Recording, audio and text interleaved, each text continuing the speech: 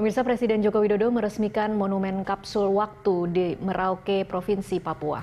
Tujuh mimpi anak-anak bangsa dari 34 provinsi ditulis dan disimpan secara permanen di dalamnya.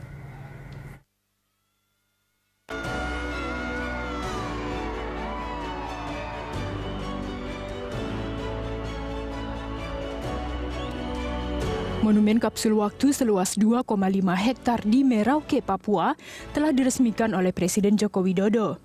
Monumen ini berisi impian anak-anak bangsa dari seluruh Indonesia yang dihimpun melalui ekspedisi melintasi 34 provinsi sejak tahun 2015. Kapsul berisi impian untuk 70 tahun ke depan ini nantinya akan dibuka pada tahun 2085.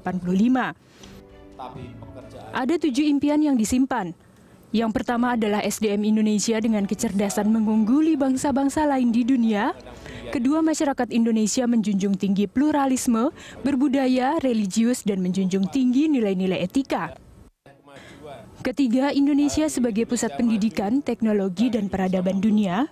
Keempat, masyarakat dan aparatur pemerintah Indonesia bebas dari perilaku korupsi. Kelima, membangun infrastruktur yang merata di seluruh Indonesia. Keenam, Indonesia sebagai negara yang mandiri dan negara paling berpengaruh di Asia Pasifik. Ketujuh, Indonesia sebagai barometer pertumbuhan ekonomi dunia. Inilah sebuah pekerjaan besar yang artinya selama 70 tahun atau 100 tahun ke depan, semua elemen bangsa harus bekerja keras. Tidak ada pekerjaan yang instan, dadakan langsung jadi tidak ada. Tidak ada pekerjaan yang hanya bisa dilakukan oleh satu orang atau segelintir orang. Ini adalah kerja bersama kita. Kerjaan besar untuk mewujudkan mimpi Indonesia di 2085 tidak boleh berhenti.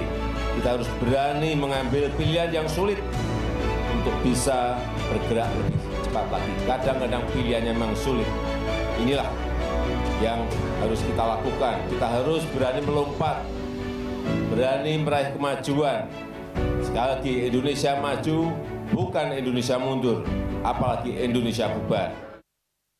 Monumen kapsul waktu dibangun oleh Kementerian Pekerjaan Umum dan Perumahan Rakyat melalui kegiatan ruang terbuka hijau mulai tahun 2016. Pembangunan tahap pertama untuk pondasi menelan dana 7 miliar rupiah.